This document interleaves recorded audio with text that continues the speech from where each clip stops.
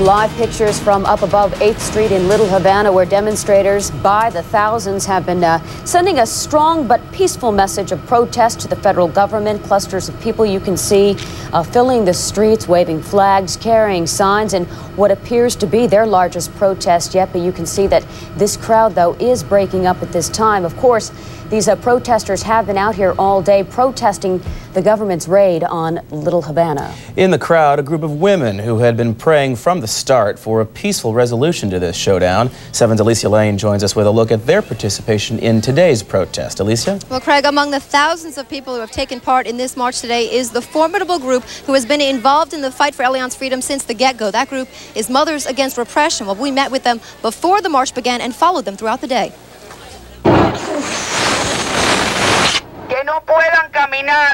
Meeting before the massive march, one by one, they file into Shenandoah Park.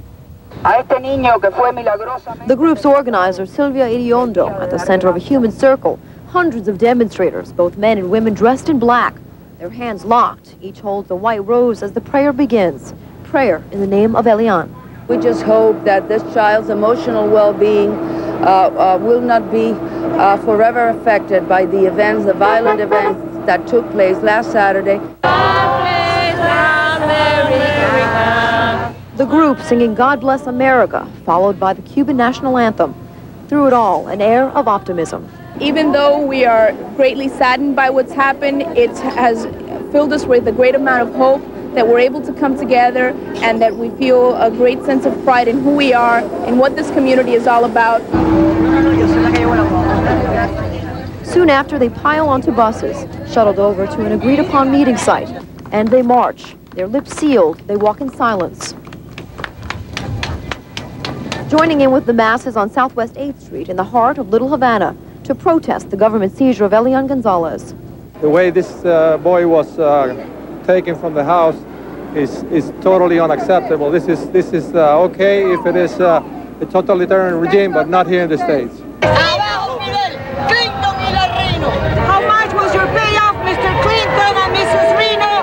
Passionate words fill the streets, downcasting President Clinton and Attorney General Janet Reno for the actions taken that took Elian out of South Florida. Meanwhile, others are here to impart a message of their own. Oh, I want to show them out there that just because you're raised here, you don't forget your people in your homeland. Mothers Against Repression co-align themselves with several other Cuban-American groups, including some youth groups. As a whole, they, they tell us they don't expect to change what has happened to Elian Gonzalez, but they do want their voices to be heard to let the world know that they are united in their stance. We're live in Little Havana. Alicia Lane, 7 News. Still to come tonight from the Newsplex as we continue, it was a crime that shocked South Florida. A security guard murdered on the job. Months later, the killer's still on the run. We have the latest coming up. And in a few minutes, the bridge connecting the Keys to the Florida mainland shut down to traffic in a place of car, or in place of cars, I should say. More than a thousand people. We'll tell you what it's all about. And I'm Brent Cameron in the Channel 7 Weather Center. Another gorgeous day all across the state. It's hard to believe, actually, there's a front in the area. I'll show you where that is right now, where it's going, and what we can expect in the days ahead. Stay tuned. The all-new 2000 Buick LeSabre. Re-engineered with more standard safety features for you and your family than any other car in its class. And exceptional fuel economy, too. Purchase a new LeSabre and get $750 cash back. See what makes LeSabre such a great value and why it's a Consumer's Digest Best Buy, a AAA Top Car Award winner, and America's best-selling full-size car eight years running. Buick LeSabre with $750 cash back. Now at your Buick dealer.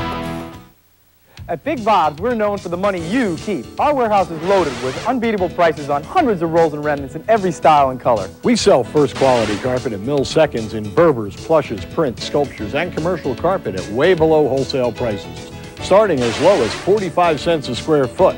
I'm Big Bob. I'm Just Bob. And if you don't come to Big Bob's, we can't save you money. We're located on the Palmetto at Northwest 10th Avenue, just east of Modern Age. Can I be Big Bob next time? So, what do y'all think about Wendy's barbecue bacon cheeseburger? Exquisite. The barbecue sauce leaves a sweet, smoky imprint. Almost piquant. Get off your high horse, Jeb. I'd say more radiant than piquant. Lest we forget the freshly prepared beef and bounty of crisp toppings. In harmony with natural cheddar cheese and hickory smoked bacon. Wendy's barbecue bacon cheeseburger. Come in and try one today. Hey, Cookie, what do you think? Don't ask me, cowboy. I just rustled a grub. You've seen wipeouts before, but never one like this. It's the Wipeout Sale at the Maroone Auto Plaza, an AutoNation company. We're wiping out over 1,000 sport utility vehicles. Get your Chevy Blazers, 219 a month. Nissan Xterras, 219 a month. We're even wiping out Isuzu Rodeos for 219 a month with zero down at the Maroone Auto Plaza. Price and selection, that's Marino. No, that's Maroone.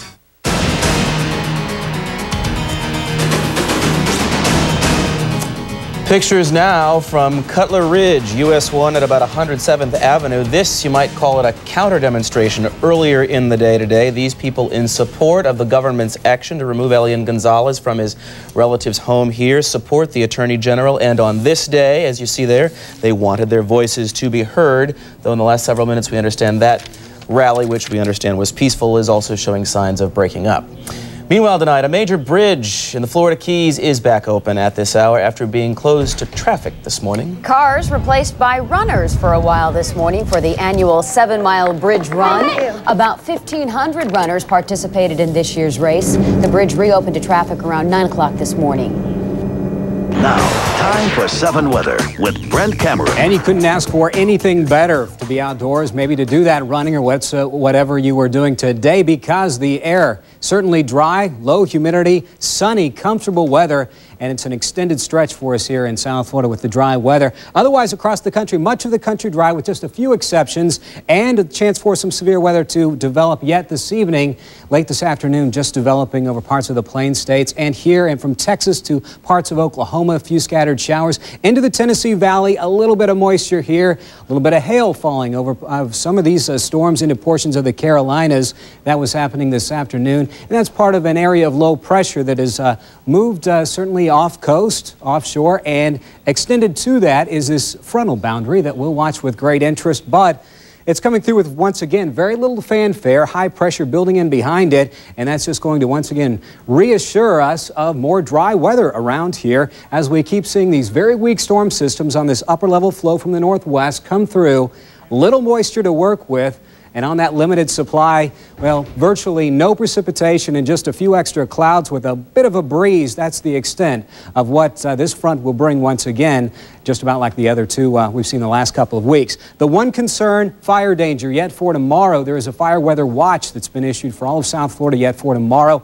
Breezes uh, picking up, especially by tomorrow afternoon. Again, the air is very dry, and so once again, that risk for some of that uh, fire danger across the area. Temperatures in the 70s and 80s statewide, and you can get an idea where the front actually is. The separation between dew points, the amount of moisture in the atmosphere in the 60s, and to the north in the 40s and 50s. Here's what we're looking at for tomorrow. Notice the warmth as it continues to grow over the Mississippi Valley, the 70s all the way up to Iowa. Not far from that over portions of Minnesota. Still the cooler air with the trough and the jet stream over the northeast, about the only cool spot in the country. Around here, we're going to remain warm, but a slight cool down on the other side of that front. Let's check out that forecast. And we are looking at temperatures tonight between 71 and 67 degrees. Mild and pleasant. Once again, they will see the clearing allowing for plenty of sunshine yet tomorrow.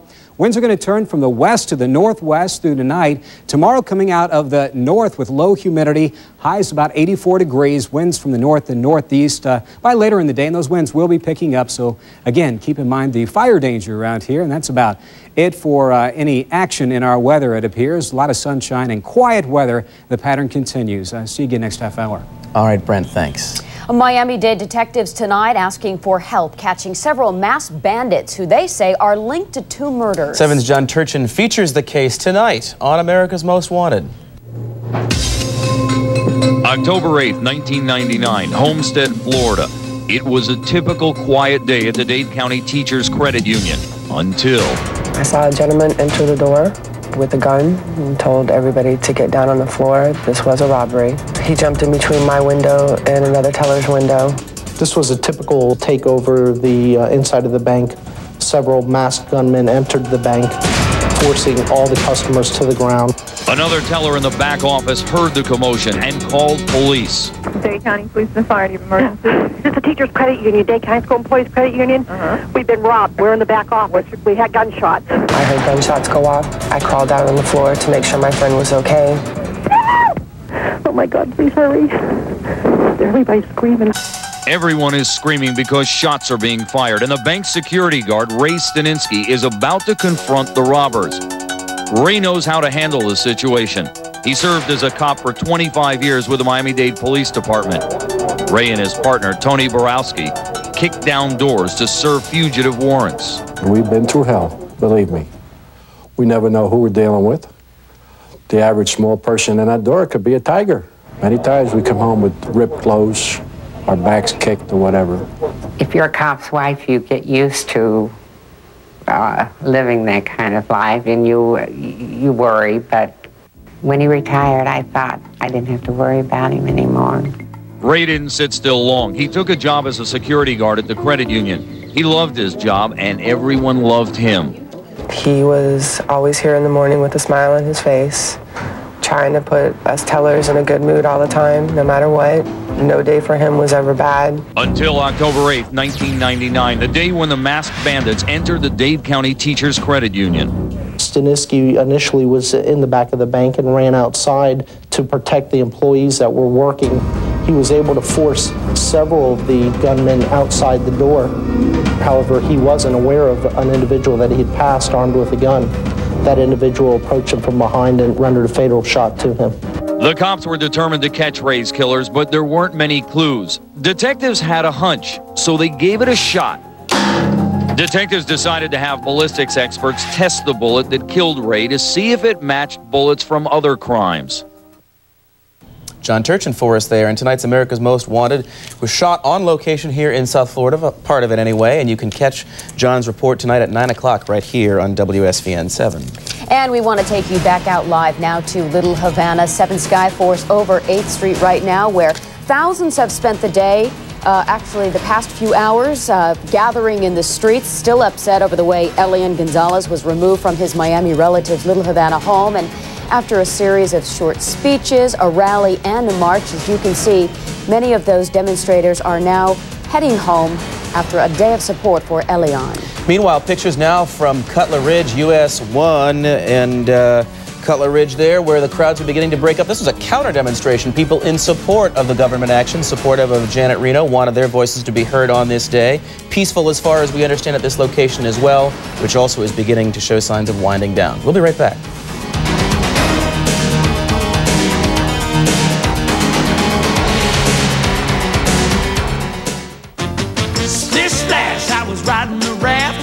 Soaked at the Rapids Water Park.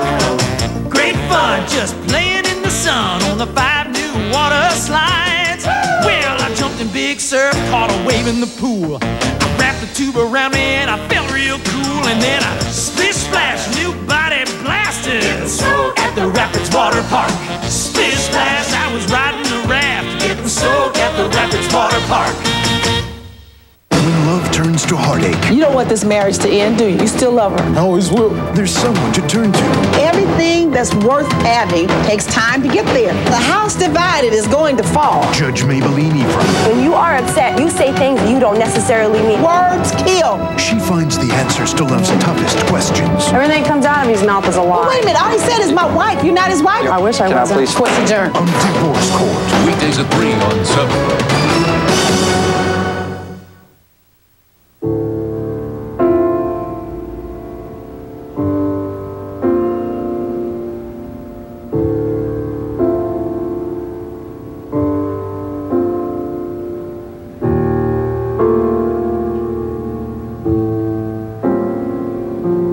Teacher tells us all we gotta do is just say no.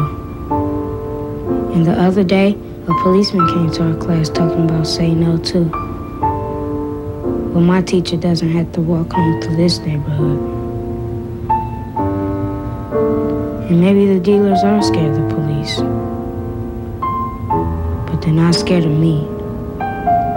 And they sure don't take no for an answer. Kevin Scott and all the other kids who take the long way home. We hear you. Don't give up.